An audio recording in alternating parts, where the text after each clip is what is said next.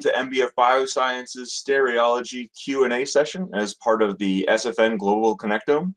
Uh, my name is Nathan Leese. I'm the uh, product manager of Stereo Investigator. I'm joined here today by uh, Dr. Dan Peruzzi. Peruzzi.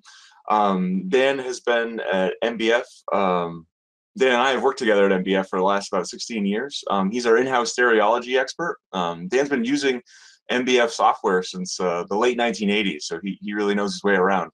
Um, he also curates stereology.info, and that's a resource that, that we have available and we'll be showing uh, bits and pieces of today. And he also heads up our uh, tech support department. Morning, Dan. How's it going? Morning, Nate. Um, we're also lucky enough today to be joined by Dr. Daniel Peterson. Uh, Dr. Peterson is a longtime customer. He's a world-renowned neuroscientist and stereology expert. Um, we've worked with he and his lab for years. Uh, they've been very influential in shaping Stereo Investigator, um, and we've just had a really great working relationship with them. So welcome, Dan. Thank you so much for joining us. Morning. Glad to be with you.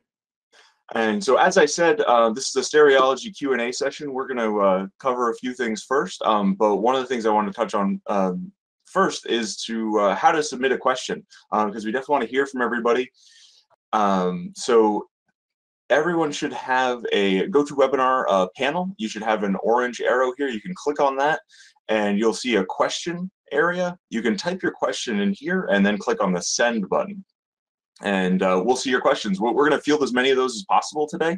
Um, so please send those in. If we're not able to get to everything, we'll try to reach out um, to folks afterwards because uh, we definitely want to hear from folks and and uh, and help you out as much as we can.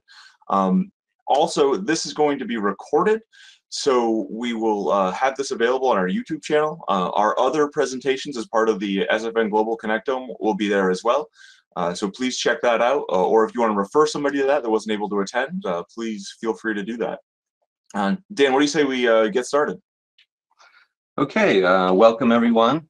And I know the reason everyone is here today is so that we can talk about stereology. Stereology is the scientific study of shapes, uh, but what we want to perform is unbiased stereology.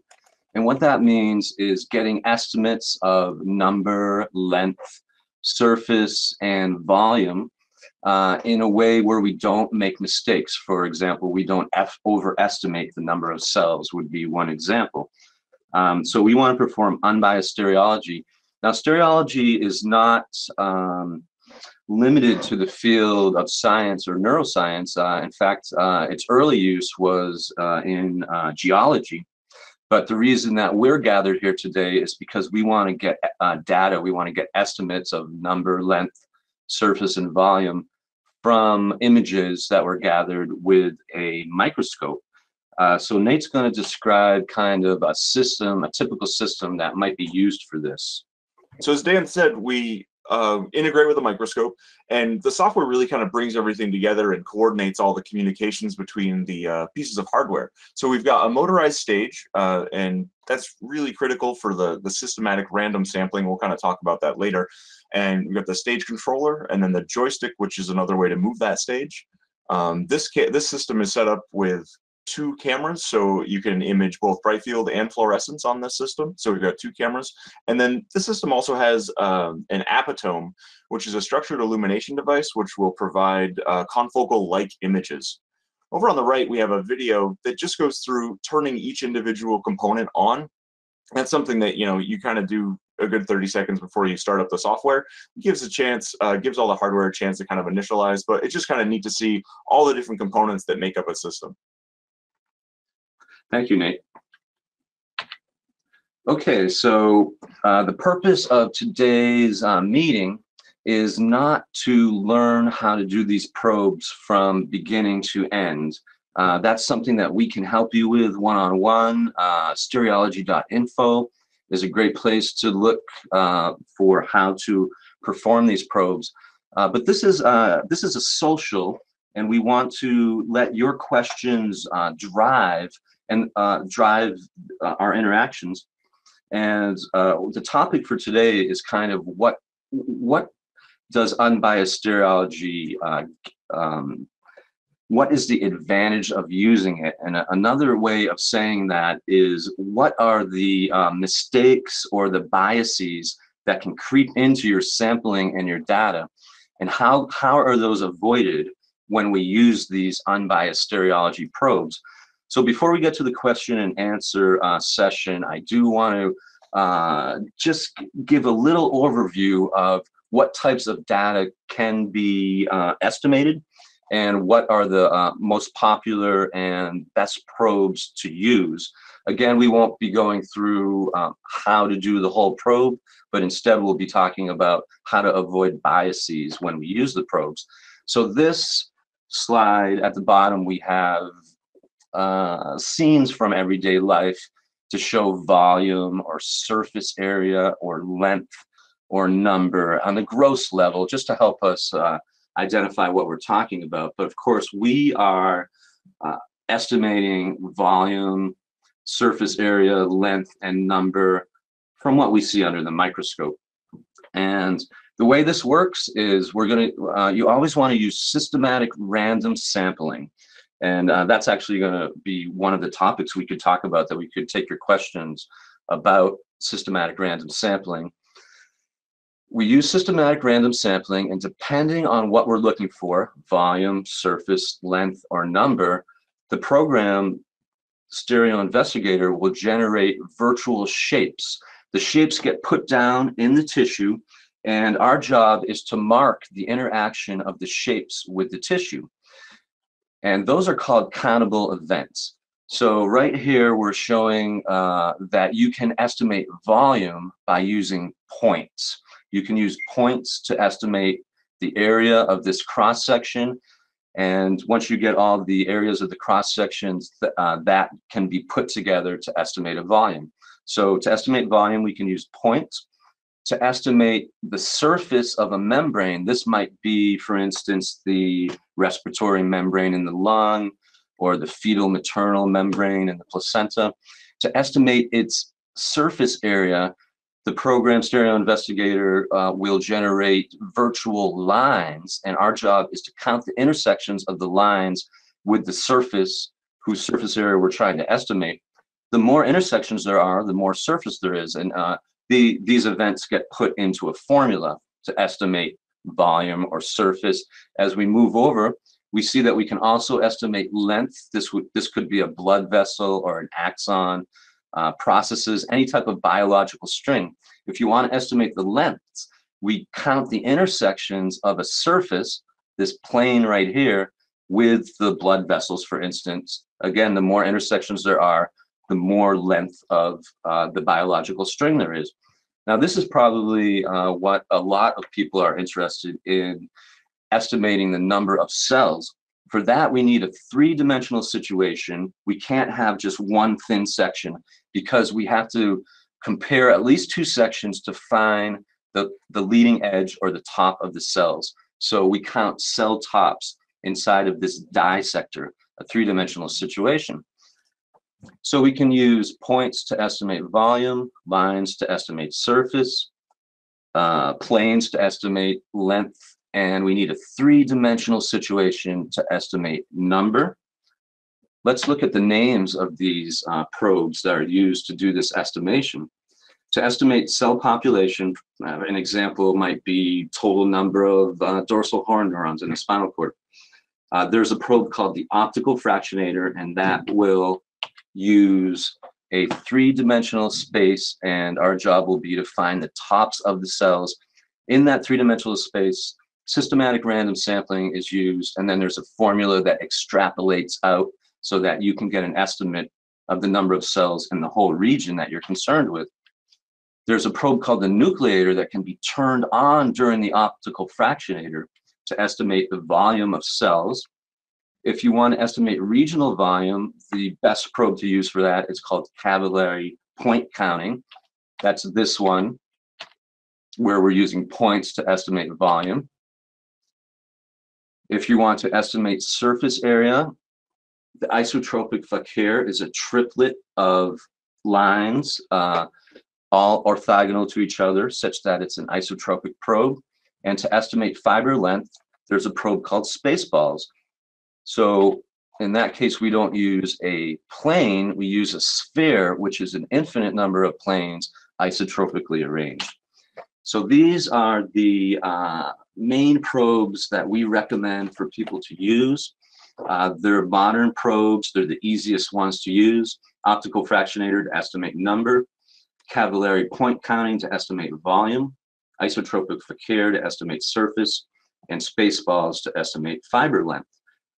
Those are all regional probes. Here's an example of a local probe that can be turned on during the optical fractionator so that you will get an estimate of number and also an estimate of the volume of, of those individual cells. So as I've been saying, uh, we are not going to go through from soup to nuts how to perform these stereological probes, optical fractionator, Cavalieri point counting, isotropic Fakir, and Spaceballs. Instead, what we want to do is highlight kind of why are we using these probes? What are these probes buying us? How do these probes avoid bias? And what can go wrong when you, uh, for instance, don't follow the rules of the probe? So we have these, um, these ways that bias uh, can creep into your data, broken up into two categories, where you look and how you look. So we want to be following the rules of the probe. I'd like you guys to uh, think of questions about um, these types of uh, rules we have to follow. For instance, uh, one, uh, the optical fractionator, we have to follow uh, certain rules. One thing we have to do is we can't do that at low power. We have to do it at high power with an oil lens. So if people have questions about that, uh, send them to us.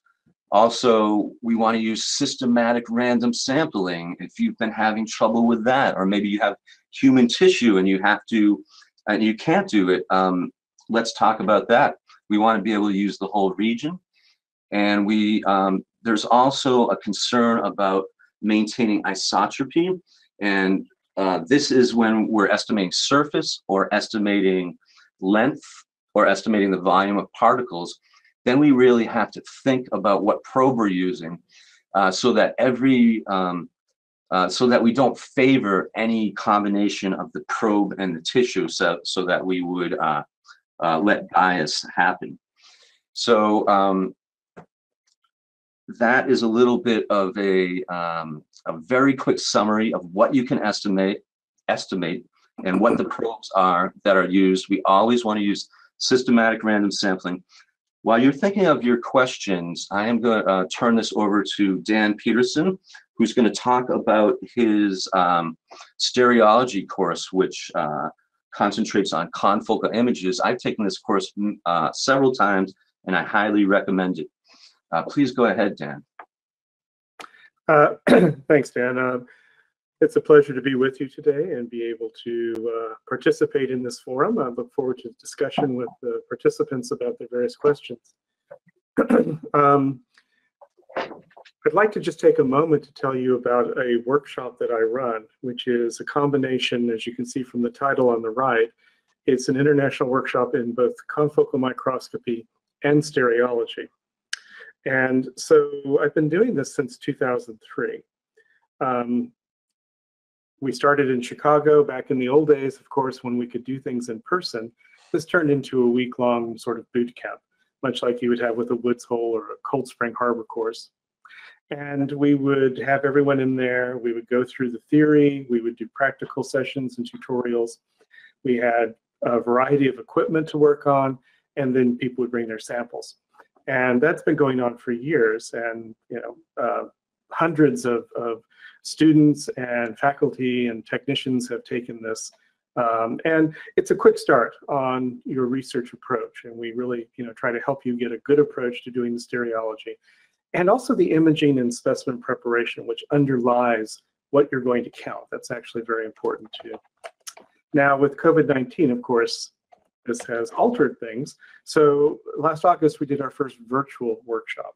And you can see the schedule here on the right. Uh, we limited it to four and a half hours a day, which is as much time as anyone can stay on a Zoom interaction. Um, so we're covering the same topics and it's just been adapted and I have some, some canned videos I walk through to help deal with the fact that we're not physically handling the equipment. Uh, you can see on the schedule there on the right the content, we start with sample preparation, we go through the imaging approaches, and then we focus on the principles of design-based stereology, uh, going to a deep dive of the things that, that Dan just introduced. And then uh, the very last day, it's a very practical one. How do you do these things? How do you implement them? And uh, we cover everything from traditional bright field all the way through clear tissue. We do discuss electron microscopy to some degree, but it's all types of preparations that lead to this. Uh, our next one is going to be from February 1st to 5th. And um, I just have, if you could advance the next slide, please, for me, Dan.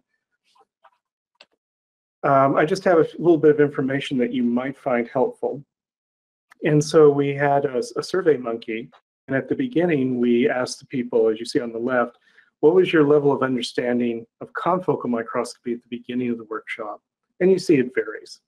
And we asked people, what was your understanding of stereology on the right-hand panel? And you can see that that also varied. There were some people who really felt they knew very little about that. So uh, if you go to the next slide.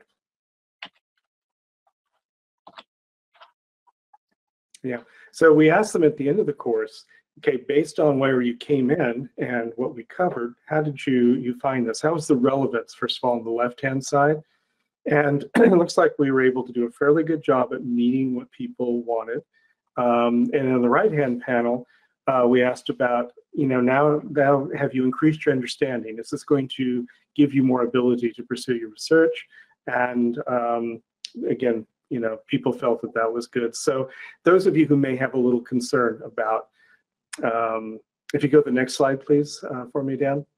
Uh, those of you who may have a little concern about, you know, how useful is a virtual one, um, I'd like to, you know, draw this to your attention.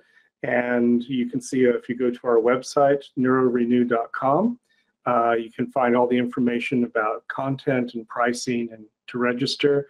And we're extending the early bird registration to January 14th to allow participants of this workshop to be able to get that better rate. Uh, but I'm here actually to talk about your questions and to uh, help support uh, Dan Peruzzi in this. So I'm going to turn it back over to, to Dan and, and let him get the ball rolling on this. Thanks, Dan. Uh, I don't want to miss the chance to thank you for all the teaching you've done over the years. And like I say, I've um, attended the courses and got a lot out of them. So thank you for that, for kind of spreading the word of unbiased stereology. Okay, so we are thinking about questions about how to remain biased concerning these different probes. I do see one question uh, here now. Uh, it says I've used the Cavallari volume estimator to estimate the volume of regions in the brain. Uh, and what uh, what Katerina is doing is using the area fraction fractionator. So this is a type of point counting. It's uh, we actually don't have it labeled here. Uh, it is a type of point counting, same as Cavallari, but instead of uh, um, estimating a whole contiguous uh, region, area fraction fractionator is to estimate um, the percentage of different phases of the tissue. And so if you can get a reference volume, and um, what I want to do is go over to stereology.info to talk about this. So this is our um, website, stereology.info, stereology.info.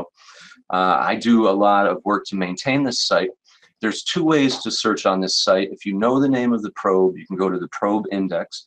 And if you're interested in probes that deal with regions, for instance, optical fractionator uh, to estimate number of cells, you can uh, click here and find out about the optical fractionator. We also have spaceballs for volume, isotropic Fakir for uh, surface, and Cavalieri point counting uh, for volume. Sorry, Spaceballs is for length. Uh, and right here, particles, uh, we can estimate data about particles and by far the most popular probe that people are using is the nucleator to estimate the volume of cells. More likely you might not know the name of the probe, but you but you know what your what your hypothesis or idea is and what type of data you need to get to um, uh, to find out about that idea. Uh, so for that, we click on what are you estimating? And we have this broken up into first order and second order stereology. First order deals with the cardinal properties of the tissue. Again, I'll just reiterate this number, length, surface, and volume. Second order has to do with the relationship uh, among particles or cells. Um, so the question uh, was about the area fraction fractionator. So we could click on volume or cross-sectional area and we will see this chart here. And this chart um, helps us decide, for one thing, do we need thick or thin sections? Uh, and, and to estimate volume, we can use thin sections. The other thing we have to ask ourselves is, can we use any orientation of the tissue? Um, or does it have to be, uh, does the tissue has to be, have to be made isotropic by being randomly rotated? And in this case, uh, we can use any orientation of the tissue. This gives an idea of what Cavalieri point counting is like, uh, where we put points down to estimate a whole volume. This is the area fraction fractionator, and the idea here is um, if you get a reference volume, so let's just talk about uh, different ways to sample uh, we look under sampling and there's two ways uh, that these probes can be done, either fractionator method or NV-VREF method. All of the probes uh, that are listed, that we have listed today, um, Spaceballs, isotropic Fakir, and um, uh, Cavalieri point counting, and optical fractionator, it, you even the, the word fractionator is built into the name of that probe, optical fractionator. A fractionator probe works by having us sample a fraction of the tissue, a percent of the tissue, and when we're done with uh, when we're done sampling, uh, we extrapolate uh, to get we extrapolate out to the tissue that we didn't look at to get the um, estimate. Uh, what Katarina's question has to do with is she's using area fraction fractionator, um, and that's where you do you put one kind of uh, like a triangle, one kind of marker down on on one type of tissue, and another type of marker down on another type of tissue, and this will give you the percentage by volume of that type of tissue. Then you would have need to have obtained a reference volume that can be done different ways. If it's a whole organ, people can use water displacement. Um, if it is something inside of the organ, uh, you can use Cavalieri point counting to get your reference volume. So the area fraction fractionator will give you percent by volume of the different phases of your tissue, and you multiply that by the reference volume, and that gives you um, uh, the uh, the um, the volume of all the different phases of the tissue. Um, so that, that's the one case where um, we do recommend using this MVV ref method is when you're doing the area fraction fractionator. If you want to get a quick look at what the area fraction fractionator would look like, uh, in this case, uh, this is to estimate volume of, of uh, it, it, it's plaque load. Uh, so for say Alzheimer's, we have we have plaque in the uh, cortex. We it would be hard to go through and outline and to you know trace each one of these plaques. It's even kind of difficult to see where the border is, um, and it's considered a biased process uh, to trace. Now, if you can do a good job tracing, that doesn't mean it's a bad process, but uh, but what's going on here is we use systematic random sampling and at, at the counting site, our job is to put a yellow X everywhere we see plaque in a different, um, um, and then we'll get a percent by volume of plaque. And if we had a, a reference volume of the cortex, we could multiply that percent by the reference volume uh, to get the uh, volume uh, of that phase of tissue. Dan, if I could uh, maybe jump in and add something here. Yes, please. I, I think what, uh, you know, sort of from a, a big picture view, asking the right question is really important. And I think you've illustrated that great here with the, the plaque load. You know, you can count plaques or you can say how much plaque there is. And that's really the better question is the, the second one, how much, how much plaque load is there? Uh, I was talking with someone the other day about mitochondria, changes in mitochondrial volume, and they thought they should count mitochondria. Well, you, you could, but mitochondria are not like in the textbooks. They're very branching, elaborate things. Uh, they move around. Um, and so, in a sense, the better thing to know there is is there a change in the volume of the mitochondria, or maybe the surface area of the cristae? So, um, when you when you're approaching your question to apply stereology, give a little thought to what is the the right parameter. What's going to tell you something? And volume tells you a lot. Um, you know, changes in nuclear volume could be useful in grading gliomas, for instance. Um, so these are great tools. They're easily implemented. Um, volume's kind of almost like a free bit of data you can always get in any study. So it's it's well worth considering. Thank you, Dan.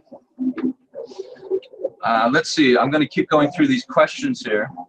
Uh, one question is, can we do stereology on Neurolucida? The answer uh, to that is no. Neurolucida is another program. It's used for tracing uh, tracing neurons and reconstructing serial sections. Uh, to do unbiased stereology, uh, you'll need the program Stereo Investigator. Let's see, I have a, uh, we have a question. Uh, what are your views on the proportionator method of area sampling? I think, uh, I think that Michael may be referring to a method where you try to look, um, when you do your sampling, you try to weight it more towards the, um, you want to do more sampling where the uh, where the for instance where the plaque actually is. Uh, we don't implement that particular uh, process in our uh, in our program. I haven't actually seen any papers published on it. Uh, Michael, if you do have uh, know of a paper published on that, I'd be glad to see that. so I, am just not really um, qualified to comment on if that's useful or not. Uh, but I would like to learn more about it. Yeah, there might be a reference to sort of taking populations as a whole and kind of essentially putting them in a blender and then sorting them out using, you know, sort of like a um, a, mass approach. And uh, people like to do this with flow and so forth, uh, flow cytometry. Yeah. I believe um, that one, that one was called the homogeneous uh, fractionator or something like that. so what everything you were looking for as. Yeah, and so, so the point the point there is um, it, it's easier to sample if the cells or whatever the data is, the uh, fibers um, or the surfaces are are not clumped. If they're not heterogeneous but they're homogeneous, then you can do less sampling and just extrapolate out to um, regions that are similar. Uh, uh, so people um, so if you actually homogenize the tissue and suspend it and then take aliquots while it is completely homogeneous, then you don't have to do much sampling. But of course, the problem, uh, or I don't know if it's a problem, but it's part of the experimental design there is you lose all of your anatomy. Is that the, that's the one I think you were talking about, right, Dan? Uh, yeah, that's correct. Okay. Um,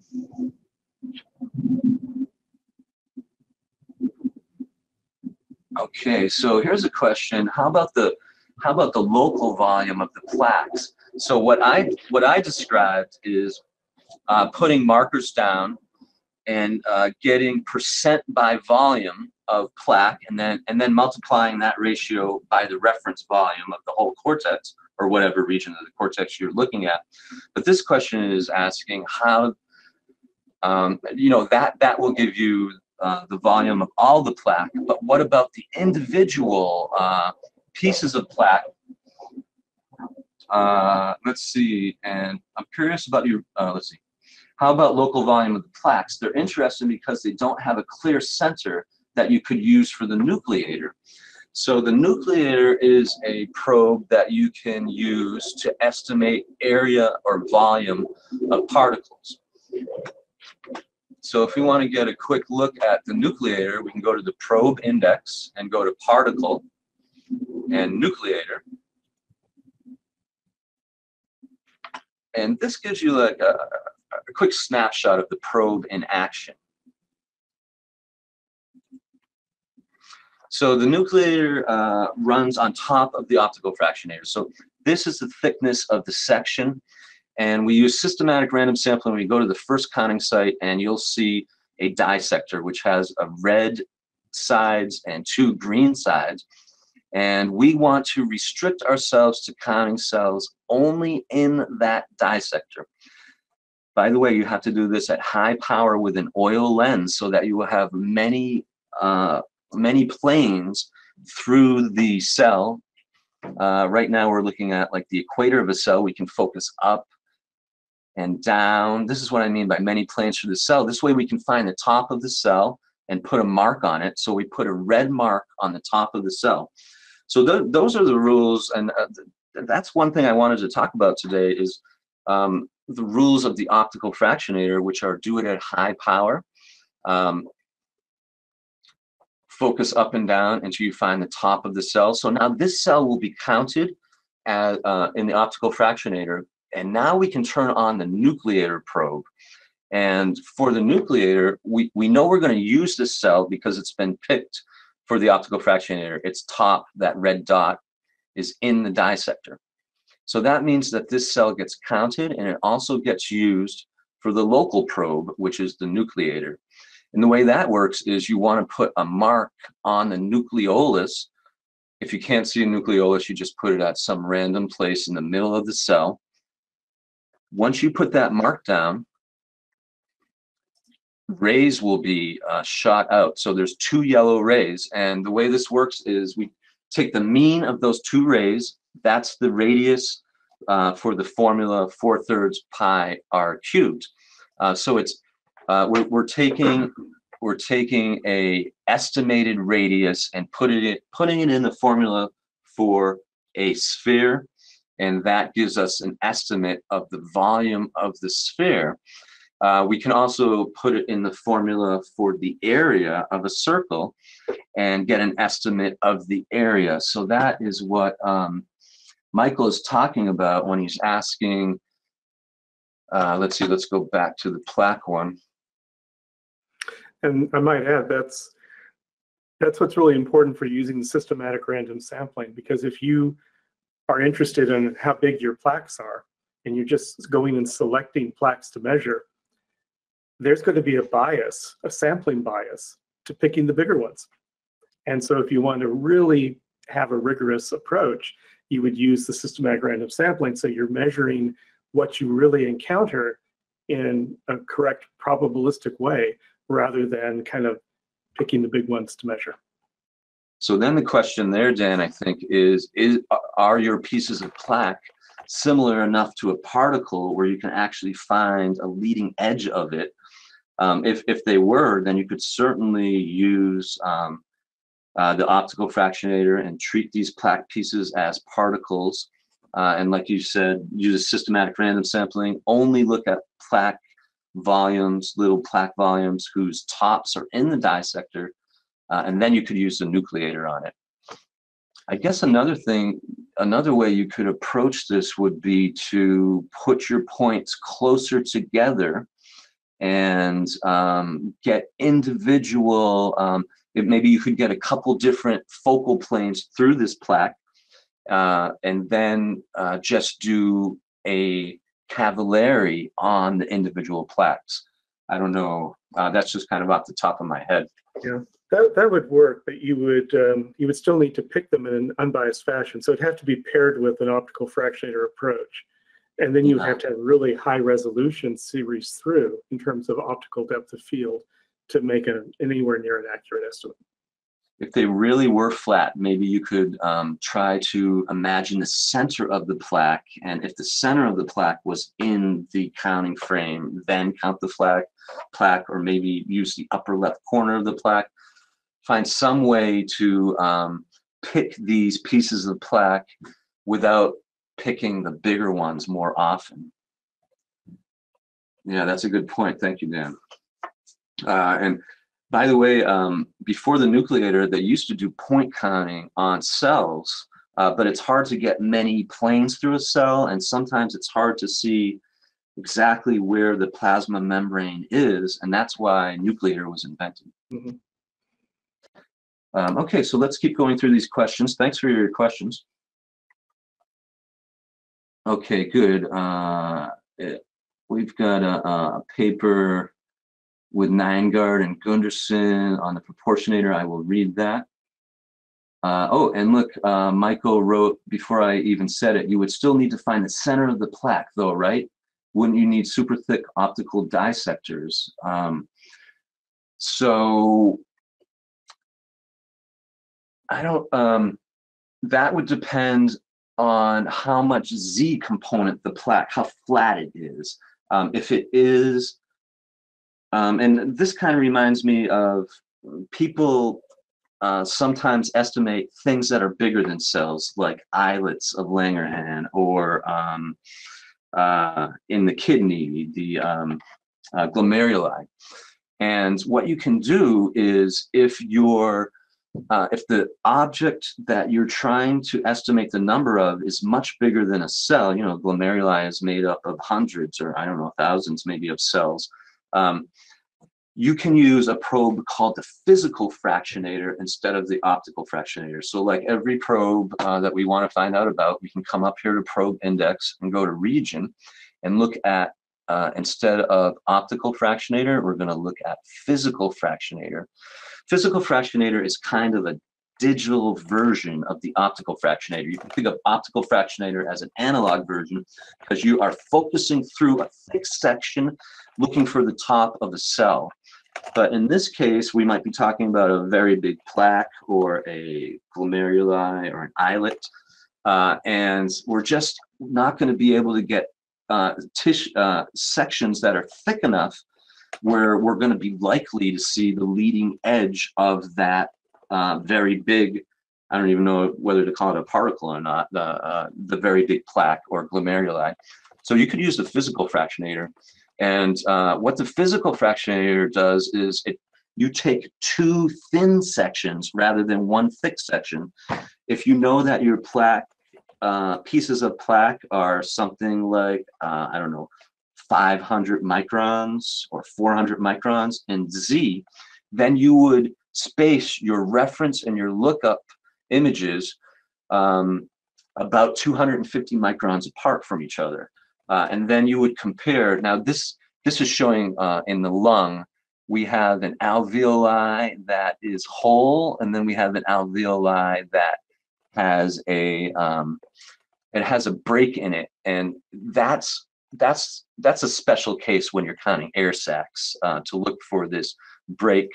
Um, if we were counting, say, these pieces of plaque, then we would look for one thin section that had the plaque in it and the next thin section that does not have the plaque in it.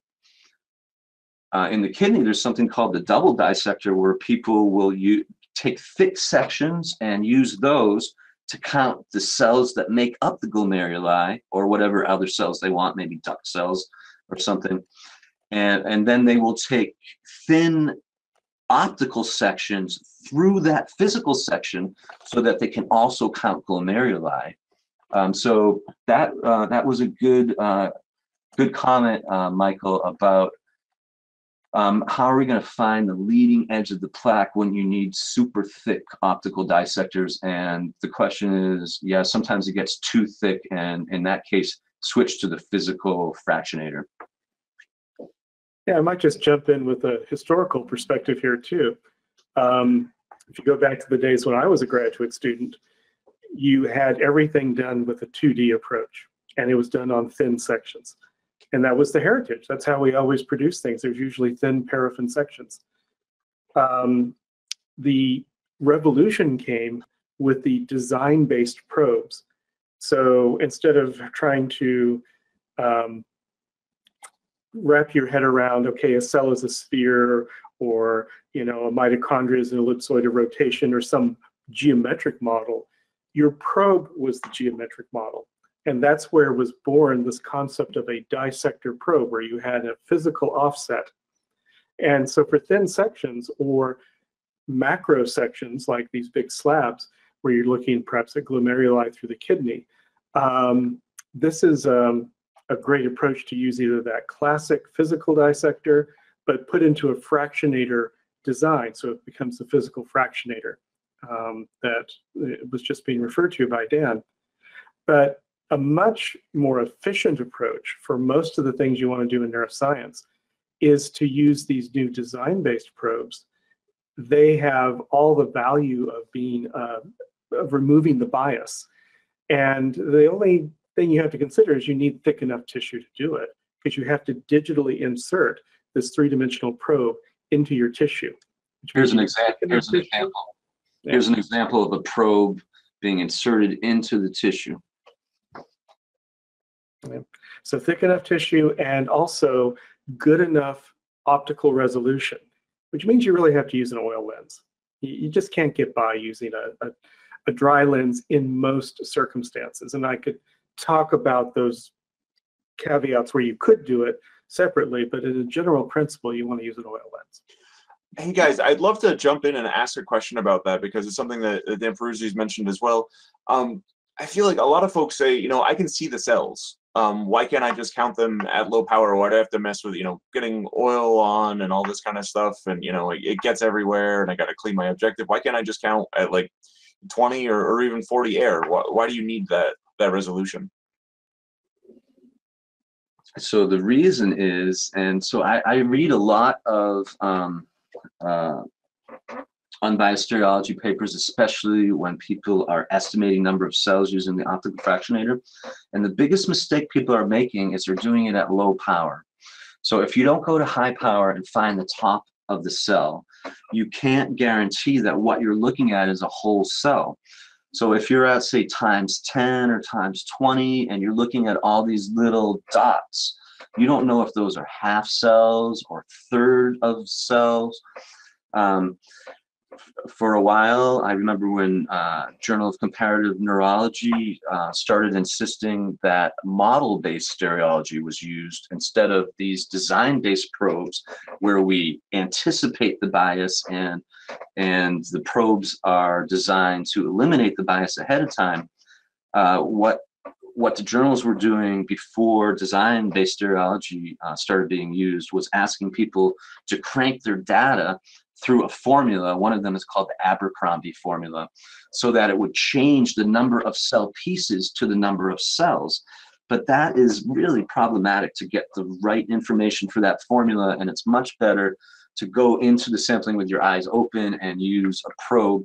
So specifically there, rather than counting cell pieces at low power where you're going to overestimate, instead go to high power and find the tops of the cells and take a lot of pain uh, a lot of um, a lot of care to make sure that the cells you count are in this disector, which is a known volume fraction, and then we can es- then we can uh, we can extrapolate to estimate.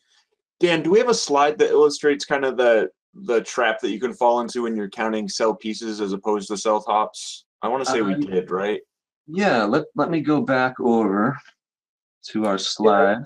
Well, he's finding that I could give you a rule of thumb you basically need to have something that can discriminate at the level of one or two microns for counting cells so that you can count if you think of an average cell of being you know anywhere between 10 and 20 microns in diameter you can have a number of focal planes through five, ten focal planes through the cell.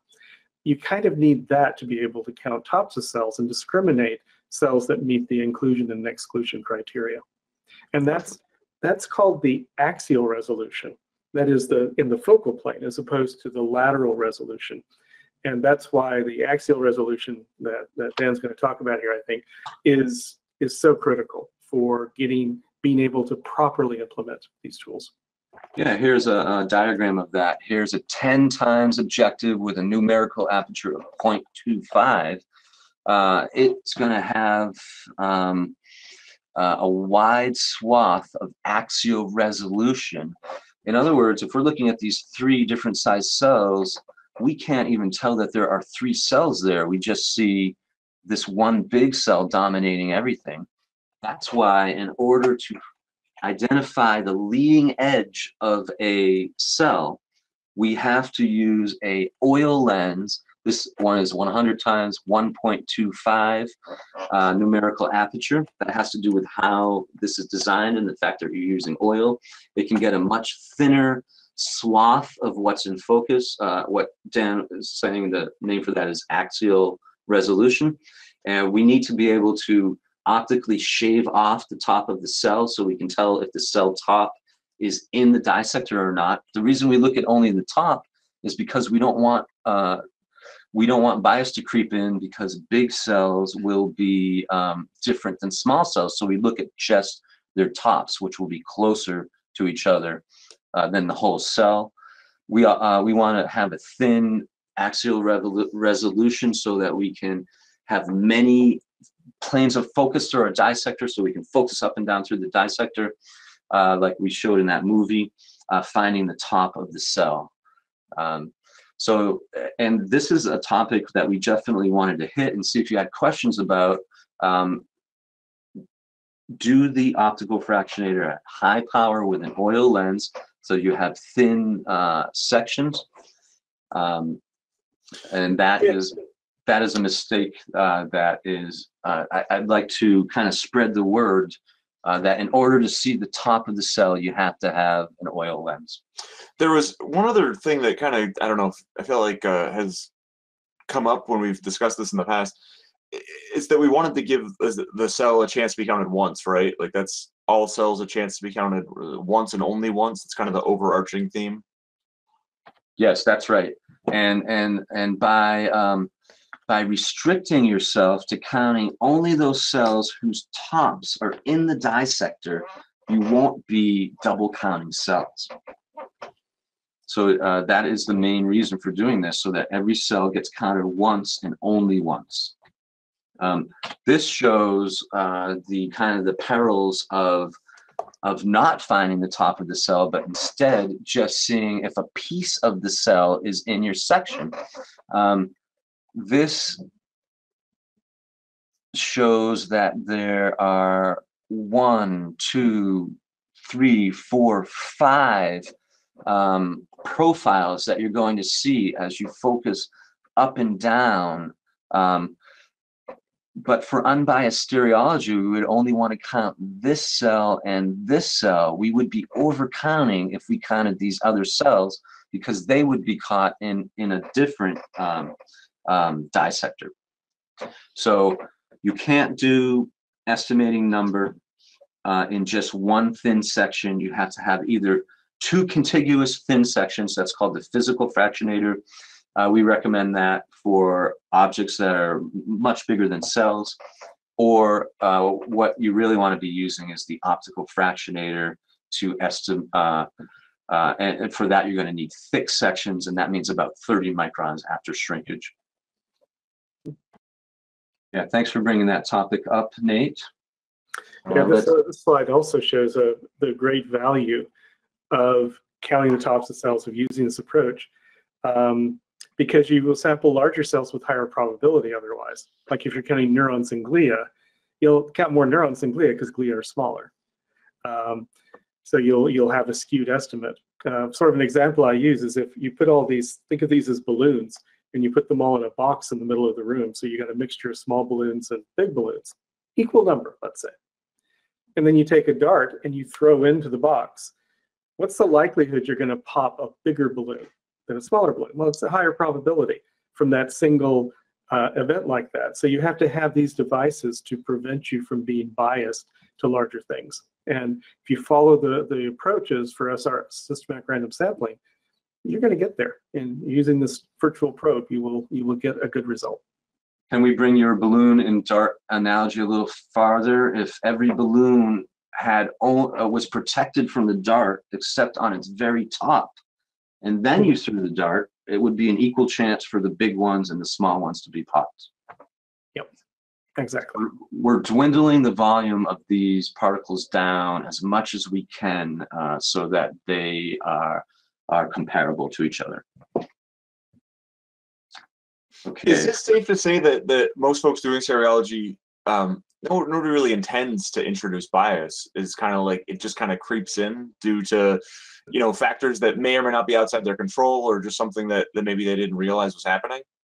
Yeah, the history of how things have been done in their field, just kind of like that that gut feeling you were talking about before like i'm at low power i can see these cells i'm just going to count them maybe without realizing they may be half cells or third cells.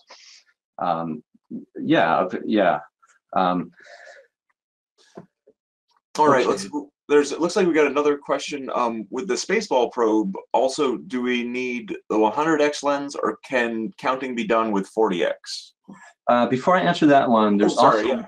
No, that's good. Uh, but there's one about can it, can we use 40 time lens for cell counting? So the question is when doing the um, optical fractionator and you have this disector and you need to focus through it uh, with multiple focal planes, will a 40 times objective be good enough for that? 40 times air, probably not. 40 times oil, probably yes. You can figure this out empirically though by uh, focusing through the cells and seeing if you have at least you know several focal planes through one cell so that you can uh, find the top of the cell I might add there too that the the 40x refers to the lateral magnification. So you can have many different 40x lenses. And, and the, the point Dan just made is that it's the numerical aperture, that NA number, it needs to be one or higher for this to work. And that means you have to use an immersion media, typically oil, but you could have water. Now, also the same holds true for the 60 and the 100. In my lab, the 60x has the equal numerical aperture to the 100. The only thing the 100 offers is a smaller field of view.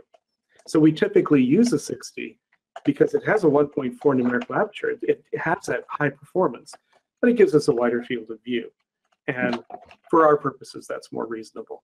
That's going to be a little more efficient. That'll be a little more efficient too if you can use the 60 instead of the 100 to move around. Yeah.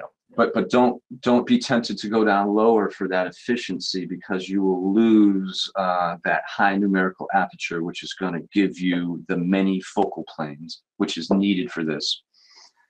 Uh, let's see. So yeah nate uh, uh, with the spaceballs probe uh, here's another question uh, also, do we need 100 times lens or can counting be done with 40 times? Okay, so let's go to back to stereology.info and take a look for those who maybe aren't familiar with Spaceballs. Again, we use systematic random sampling, um, both on the section level. So if you have 100 sections, you might use an interval of 10 with a random start to, to, to have 10 sections and then you might uh, on uh, an average section figure out spacing so that maybe 10 space balls would show up.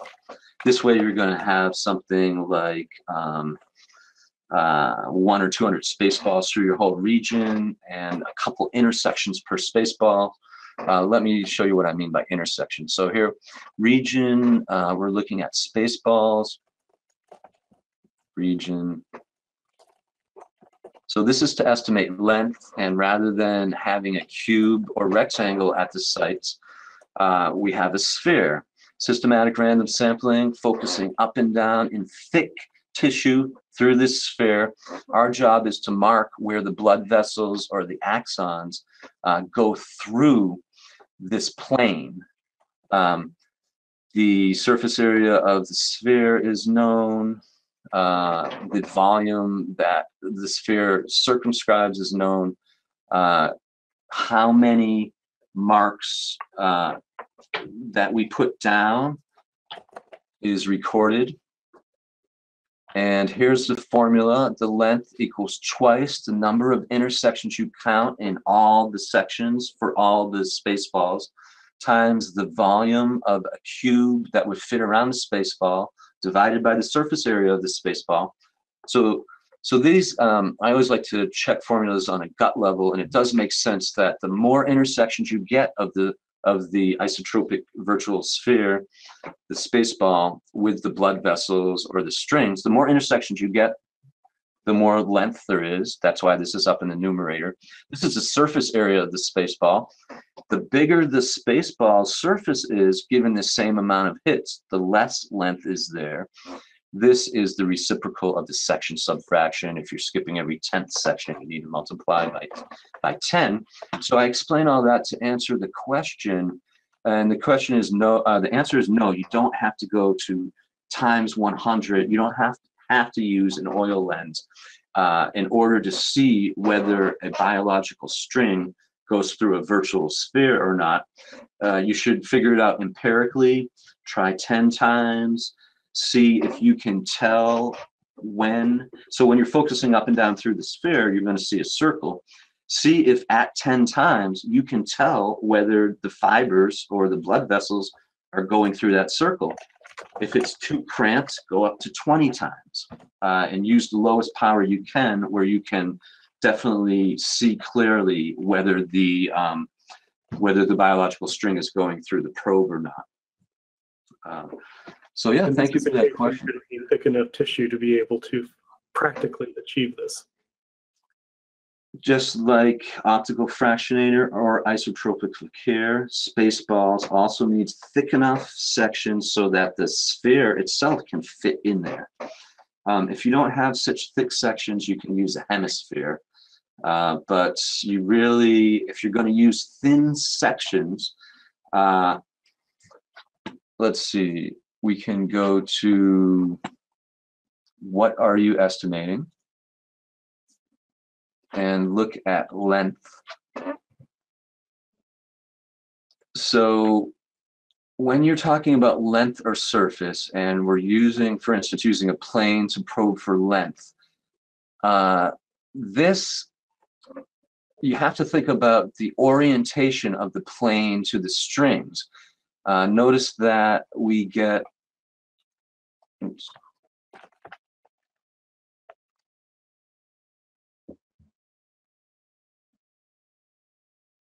replay. There we go.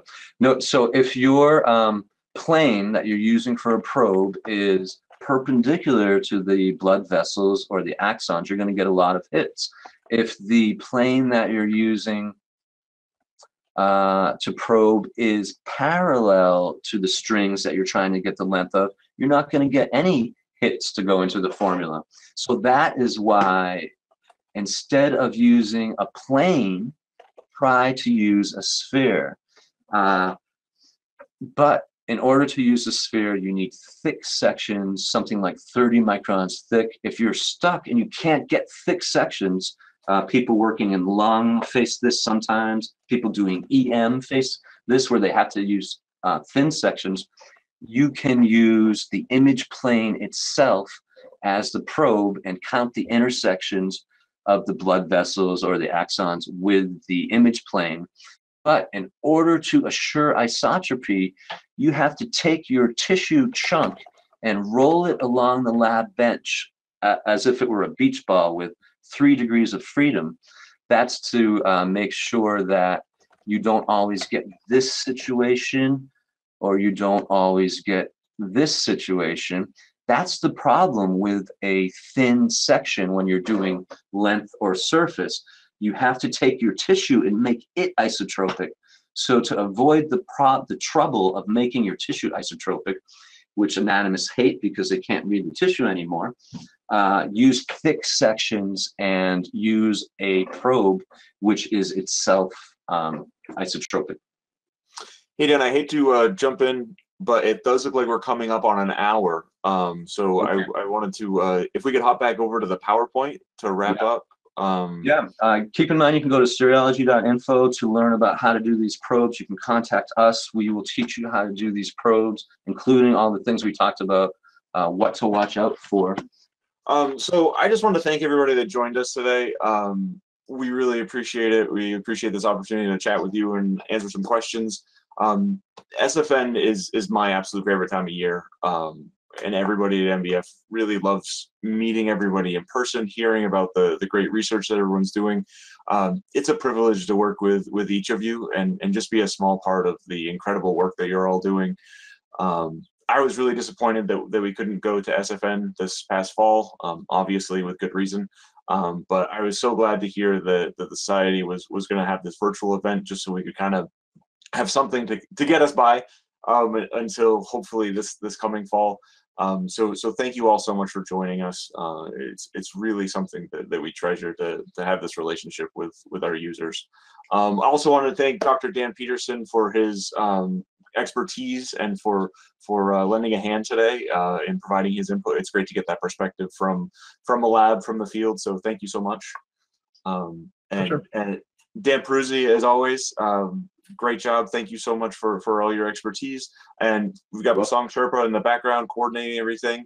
I just wanted to run through uh, uh, the links here. Um, if you have any more questions or would like information, please email us info at MBF Bioscience. We also have a, a forum that we've created in the last year. Um, so if you have additional questions, uh, much like the ones posed here today, please uh, post those. And uh, we're monitoring monitoring the forum. And uh, um, so thank you again, everybody. And Thanks, uh, be well, stay healthy, and we'll see you soon.